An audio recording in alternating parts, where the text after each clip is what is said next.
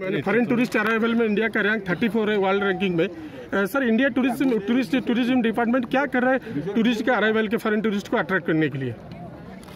2019 के आदरणीय मोदी जी के दोबारा प्रधानमंत्री बनने के बाद 100 दिन में चार बड़े फैसले हुए। ई वीज़ा एक साल के लिए था उसको बढ़ाकर पाँच साल किया।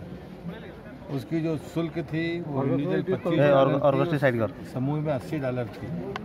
साइड 25 कर वाला टीवी 10 डॉलर और उसको पैंतीस डॉलर किया। पर जीएसटी होटल्स के रूम पर 28 परसेंट थी। उसको घटाकर 18 परसेंट किया और 18 परसेंट वाले को 12 परसेंट तीसरा जो बड़ा फैसला है चौथा एक सौ सैंतीस जो पीक्स हैं जो पिछले लंबे समय से हिमालयन स्टेट्स बात करते थे उनको खोलने का काम किया। चौथा जो उड़ीसा जैसे राज्य के लिए महत्वपूर्ण है कि जो भी हमारा कोस्टल एरिया है, जो जहाजरानी मंत्रालय है, वो उस पर इस्टेब्लिशमेंट बनाएगा पर्यटन मंत्रालय उसको अपनी तरह से डिज़ाइन करके, ठीक करने का काम करेगा। खास करके जैसे डेक पर जो जहाज़ आते हैं और रुकते हैं और वो जो आकर डेक पर आते हैं, उसमें जो लिखा पढ़ी होती थी, उसकी कागज़ी कार्रवाई में भारी कमी की गई है। और मुझे लगता है कि जो सबसे बड़ा फैसला है, वो आइकनिक साइट्स का है। कि हमारे पास सब कुछ है, कोणार्क का मंदिर है लेकिन यहाँ हम वर्ल्ड क्लास फैसिलिटीज़ दे पाएँगे क्या?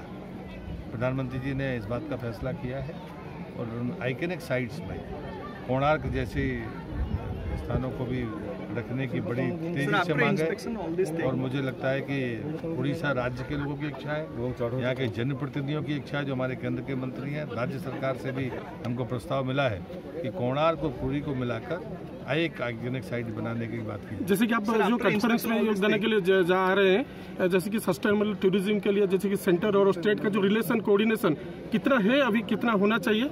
मैं आपके माध्यम से एक निवेदन करूँगा कि इससे ऐसे प्रश्न भारतीय मीडिया को तो अब पूछने नहीं चाहिए। हम सब स्टेक होल्डर हैं और स्टेक होल्डर में भारत सरकार राज्य सरकार आप मीडिया के लोग होटल के ग्रुप्स टूर एंड ट्रेवल्स के ग्रुप्स हमारे गाइड हम सब स्टेक होल्डर हैं। एक की गलती भी भारत को नुकसान करेगी। और इसलिए कभी ये सवाल मत पूछिए कि हम लोगों में कभी टकराव होगा। हम एक दूसरे के कॉम्पिटिटर नहीं है। हम एक दूसरे को सहयोग करेंगे। उड़ीसा भी भारत में है। उड़ीसा में कुछ घटेगा तो जो विदेशी टूरिस्ट कहेगा भारत में मेरे साथ ऐसा सर ये। कॉन्फ्रेंस क्या मैसेज देगा सर इंडिया को? मुझे लगता है कि इससे ये डिस्कशन होते हैं कि जो हमारे राज्य सरकार के प्रयास हैं, वो और भारत सरकार के प्रयासों में समन्वय हो जाता है। जैसे उदाहरण के लिए पुरी है। पुरी में प्रसाद की और स्वदेश दर्शन की स्कीम चल रही है। लेकिन राज्य सरकार ने भी एक पैकेज दे दिया। अब एक पैकेज दे दिया तो फिर वो ओवरलेप होता है। तो इन चीज़ों के समाधान ऐसे समय पर निकल आते हैं। और दूसरा, यदि हमें कोई इवेंट करना है तो किसी राज्य में कोई बेहतर इवेंट हो रहा है, जैसे यहाँ पर जो टेंट्स लगे हुए हैं वो जो रन कच्छ के रन में काम करते हैं उनके इको इको तो मुझे लगता है कि कल के दिन यहाँ पर भी कोई खड़ा हो सकता है। तो ये जो शेयरिंग होती है इसके लाभ मिलते हैं। सर सेंट्रल के प्रिजर्वेशन के बारे में क्या बोलेंगे? ASI doing the better job to preservation of the na- international heritage देखिए sites? ए का काम लगातार बरसों से चलता है। और उस संस्था की अपनी एक मान्यता है।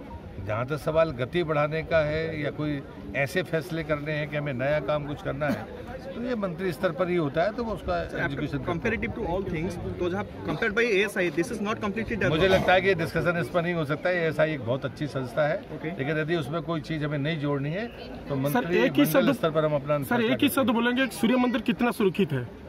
सूर्य मंदिर कितना सुरक्षित है? शताब्दियों से सुरक्षित है और शताब्दियों तक सुरक्षित रहेगा ये सरकार की ज़िम्मेदारी है।